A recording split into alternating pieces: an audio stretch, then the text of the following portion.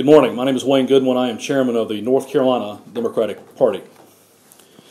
I was born and raised in rural North Carolina, specifically outside of Hamlet, in a little community called Guyot, right on the southeastern border of Richmond County with Scotland County. In fact, some of my earliest memories were riding with my dad as he was driving the tractor on the farm, and we were plowing some rows there uh, when I was a kid. We had a small family farm of about 91 acres, and we grew corn and soybean watermelon, squash, and lots of other things. And we raised a small number of swine for the local grocery stores. It was a small family farm. Great way to live, great way to grow up. Like a lot of small family farms used to be and still are in North Carolina. Other members of my family are over in Anson County, and they have been generations of farmers as well. This looming trade issue is deeply personal to me, just as it is deeply personal to thousands of people in eastern North Carolina. Let's remember how this all started. It was all about politics. President Trump was trying to win a congressional seat for the Republican Party in Pennsylvania. He caught everybody off guard, including his own party and his own White House team, and the world, with his shoot from the hip plan to impose tariffs on foreign steel and aluminum. And of course, matters quickly escalated thereafter and they continue to escalate. For example, China has threatened a 25% tariff on soybeans, and also China has imposed tariffs on 128 American goods in retaliation for President Trump uh, and their own escalation of this matter with the Republican Party leadership. They have completely forgotten who they represent. This is impacting farmers across this nation and farmers in North Carolina. And they surely have forgotten that China is the second biggest market for American agricultural products and a major, major market for North Carolina farming goods. President Trump and North Carolina Republicans, through their disastrous anti trade policies, have put North Carolina farmers directly in the crosshairs of a dangerous and escalating trade war. Their policies will make North Carolina agricultural products cost more and this will hurt our farmers and consumers in all of rural North Carolina. This damage falls at the feet of every Republican. North Carolina Republicans should stand up to President Trump on this and the other things and abandon their attacks on rural North Carolina and fight for our farmers here in North Carolina. Today, former Congressman Bob Etheridge will share how these attacks on rural North Carolina farmers affect our state and farmers across the country. Then we'll have Tom Butler, a Tar Heel farmer, uh, here to discuss how the Trump trade war and Republican reluctance to lead hurts North Carolina farmers and families on the ground. Congressman Etheridge. Wayne, thank you. And as most of you know, I've had the great privilege of serving this state in a number of capacities. And I currently, in addition to having been a member of uh, privilege of serving in the United States Congress, serve as chairman of Rule Forward, a national group of former FSA and other employees who really are concerned and working on the issues of rural America. And this one issue reverberates all across this country, affecting every state, in every locality, in every community, and ultimately will affect people who sit down to share a meal wherever they may live. You know, this is about jobs. It's really about rural communities. It's about North Carolina because North Carolina feeds the world. And these tariffs punish local farmers and rural communities all across this nation. You know, we need to remember that North Carolina has been a, a leader and farming has been a staple for our nation since its existence, actually, when we became a state in 1789. Through the years, our state's agricultural products have reached every corner of the nation and around the globe. And these farmers and farm groups have worked for years to open these markets. And all of a sudden, with one failed tweet, we could be in deep trouble. Through helpful coordination with U.S. Department of Agriculture, North Carolina farmers have survived through droughts, natural disasters, financial downturns, and environmental risks. They are entrepreneurs, they're risk takers. You know, the agricultural sector makes up about 17% of North Carolina's economy, 11% of the total employment in the United States, or 21 million jobs. It's important to support our agricultural community and all the rural community because those are where the jobs are. And they're the ones who will suffer the most, and they've suffered the most in recent years. Our state consistently ranks, as you've already heard, as one of the top five producers of sweet potatoes. They're in the top with pork, poultry, tobacco, and eggs, and the list is long. Cotton is one of the top exports from this state to China, along with our tobacco. Our state feeds the nation, and our food exports can be found, as I've said earlier, around the world. North Carolina uh, exported about $100 million worth of pork and 156 million in leaf tobacco to China last year alone. Folks, that's real money. And you might ask the question, where are all the other farmers this morning? I can tell you where they are. They're getting ready for a new year. They're out in the fields. Some of them are getting fields ready. They're preparing. They're talking to their to their financial institutions. But farmers today are scared to death. They're frightened because they depend on predict, uh, predictability from their government. And they've already rented the land, bought the seed, bought fertilizer, or at least managed for it, opened up lines of credit, getting ready for a growing season. I know a little bit about that. I grew up on a farm, have family members who still farm. And the best thing Washington can do for them is to be predictable. And what are we getting? This is what we're getting from Washington today chaos. This administration continues to force chaos and confusion on people here in North Carolina, in our rural communities, and across America. Real people are going to get hurt. Jobs could be lost. People are worried about providing for their families. Our farmers and our local communities depend on fair trade practices. Yes. Do we want fair trade? Sure, we want it. But there are ways to do it. Farmers in eastern North Carolina and across this country are hanging on by their fingernails in some cases. And what is the president doing? He's cutting off their fingernails. It's going to have real negative impacts. These policies are threatening our farmers, our economies, and our state. I talked with a farmer this morning, and he said, I hope this works out. I agree with him, but hope is not a strategy, and hope is not a plan. We need certainty for our farmers, and we need certainty, and we need positive leadership to make a difference in rural North Carolina. Thank you. And now I'm going to turn it over to a farmer who really knows what it is because he and his family depend on certainty in his operation. Tom Butler. Tom. Thank you.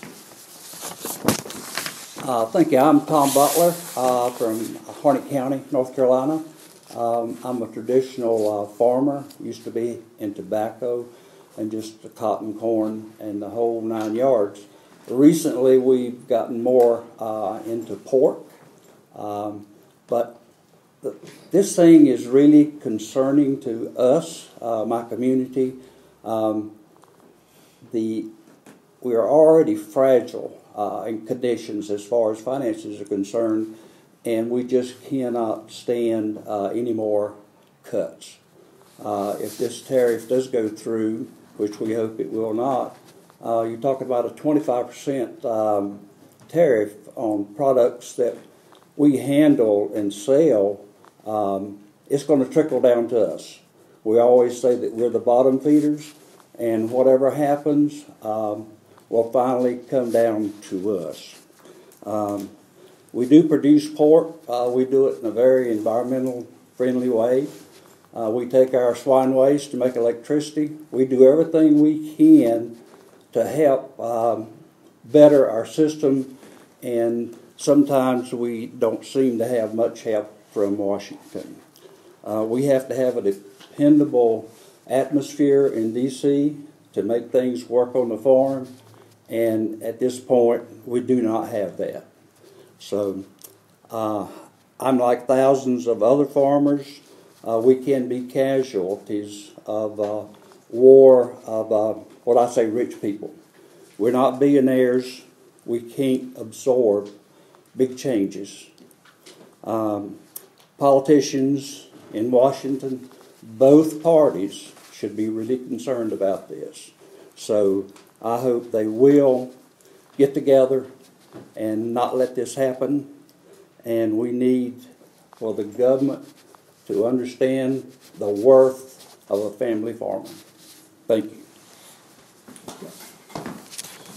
Thank you, Mr. Butler, and thank, thank you, Congressman Etheridge. Republicans must stand up to their own party right now and to President Trump right now and stop these disastrous policies. Democrats are fighting tooth and nail for rural North Carolina. Governor Cooper here in North Carolina has put restoring Main Street at the center of his agenda. And that means Main Street all across the state, in rural and every other part of this state. And here at the North Carolina Democratic Party, we're running local candidates in every single district this year, and these local candidates are pillars in their communities, and many of them are farmers themselves, and each are running local races focused on local issues like these. The Democratic Party here in North Carolina has also launched a rural listening tour. It began a couple of months ago, and we are very excited to hear from people, particularly in eastern North Carolina. I will be returning to eastern North Carolina this week on Thursday specifically to hear folks in Wayne County and surrounding counties about their concerns, fears, and hopes.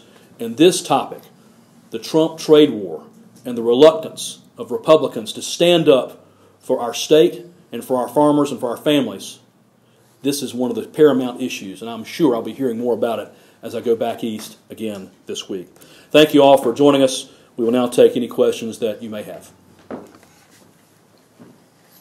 Um, you repeatedly said this is not the way to do it. There are ways to, to, to better do these type things, but you didn't say what they are. What are what, what would you do to help in these, these, these trade deficits that, that, that talking about? Well, bef- before I defer to Congressman Etheridge on this and, and, our, and Mr. Butler, I will tell you that as I said and as Congressman Etheridge said, I mean, the fact that we are in this situation wasn't due to any well thought out plan whatsoever. It was due to the uh, some emotional angst, uh, some uh, unthought out plan that nobody knew about that President Trump decided to announce to the world and for the first time to his staff uh, just before the Pennsylvania Republican congressional elections up there. Uh, so uh, that's what, something we need to remember that this is because of the disastrous failure of leadership by President Trump and by Republicans in general. People need to stand up for our farming families and for our state. And I will now defer to Congressman Etheridge uh, to specifically answer your question. Wayne, thank you. Thank you for that question. It's very appropriate. Truth is, if you're going to develop a trade treaty, it takes time. You work out the details. Because uh, ultimately, trade treaties run through Congress. First thing the president did when he came in, he did away with the TTP, the Trans Pacific Partnership. The farmers would have benefited. There's some give and take and things people didn't like, but at least it took years to develop. You know, it isn't like buying and selling a tenement house that you're going to tear down and build another one. You can't do that in the public. You, you just can't do it. You need to negotiate, work it out so there aren't casualties, or unintended consequences because some of this hits our part trading partners around the world. And it's not being thought through. It needs to be done in a systematic, thoughtful way, working through diplomacy. Uh, that's really how you do trade treaties. Well, you should do them, have been done in the past. Uh, I think the uh, unintended consequences of something like, something like this are really bad because history is, has not been a good predictor. Because historically, when you do things like this, we know what it leads to. A lot of casualties, and the casualties tends to be the people who don't have anything to fight back with, and rural communities are going to be hit the hardest. Did that answer your question? It does, and to, to follow up, I mean, I remember before the elections, when I traveled throughout the state talking to to people about, you know, who they would vote for, why they would vote in this particular way. But they all said, well, Trump speaks for me. So we've got a whole state full of people that voted for Trump. And, and now when you saying eh, this ain't right, I mean, how are you gonna reach those people to say, we need your support in helping us? Well, I think that's a good question, but I don't think they thought, had any idea that those kinds of things would come and settle on their front doorstep. This is going to have some significant impact. Do we need to adjust trade treaties? Absolutely. But they need to be in a thoughtful, productive way so that the people who are out in the countryside, and this is what we're talking about, because those who li- live in the penthouses, they're going to be all right. Where the president lives, he's going to be all right. You can't do what he's wanting to do the way he wants to do it. As one person said this morning, I said a few minutes ago, they hoped it'd be all right. Hope is not a strategy. Hope is not a plan. You have to work systematically through it because there's got to be give and take in trade negotiations. And here we're talking about taking a sledgehammer to kill an ant. That's not what you want to work on. And obviously, part of this, the, our rural listening tour, and of course, I was doing this even last year uh, as well, but particularly now, is to bring home to our communities and to our voters, regardless of party, that they have been deceived. You know, whether they vote, if they voted for President Trump or voted for Republicans, they were told one thing, but clearly the Republicans and President Trump and his administration are doing something completely different. And it's going to take a systematic uh, direct approach, and that, that's why my team and Governor Cooper's team and all of us are going where folks live and in their communities and, and hearing them. What were they expecting? What do they need? And what, uh, what is vital to make sure that farming families in our rural communities and our state's economy isn't damaged for a generation because of this, this, uh, this behavior by President Trump and the reluctance of Republicans to stand up for country first and state first and farmers and families first instead of politics and hyper partisanship. Mr. Butler, anything you'd like to add to that?